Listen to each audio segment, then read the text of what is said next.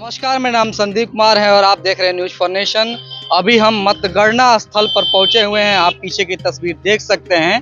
लगातार मतदान के बाद जो भी कयास लगाए जा रहे थे एग्जिट पोल बताए जा रहे थे, आज उन सभी से पर्दा उठ जाएगा और सबके सामने परिणाम आने वाला है। अब से कुछ ही देर में मतगणना की प्रक्रिया प्रारंभ की जाएगी। आपको बता दें कि कुल चौदह टेबल लगे हुए हैं और छः छः विधानसभा के चौदह ईवीएम को एक बार में खोला जाएगा।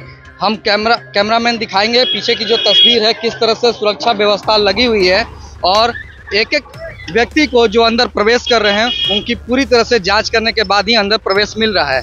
तमाम यहाँ पे फोर्स मौजूद है और ये भी निर्देश दिया जा रहा है कि मोबाइल अंदर नहीं ले जाना है या किसी भी तरह का इलेक्ट्रॉनिक उपकरण जो है, वो अंदर नहीं जाएगा।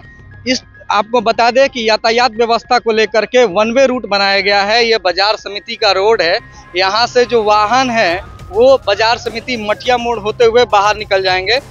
मतगणना की प्रक्रिया के दौरान किसी भी तरह के वाहन का प्रवेश वर्जित किया गया है। आपको, हम ये भी बता दें कि जो कमर्शियल वाहन है, जैसे ट्रक हैं पिकअप है। इन सब वाहनों पर पूर्णतः वर्जित किया गया है और साथ ही जो मतगणना की प्रक्रिया में जो वाहन है, जो अभ्यर्थियों के वाहन है, जो प्रत्याशियों के वाहन है, उनको, उनके वाहन को पार्किंग करने के लिए पार्किंग स्थल अलॉट किया गया है। रक्षा वाहिनी का मैदान है जहाँ पर प्रत्याशी अपना वाहन खड़ा कर सकते हैं। और साथ में प्रत्याशियों के समर्थन में आए हुए जो अभ्यर्थी, जो लोग हैं, जो व्यक्ति हैं उनका जो वाहन है वो किला मैदान में और आईटीआई मैदान में खड़ा किया जाएगा।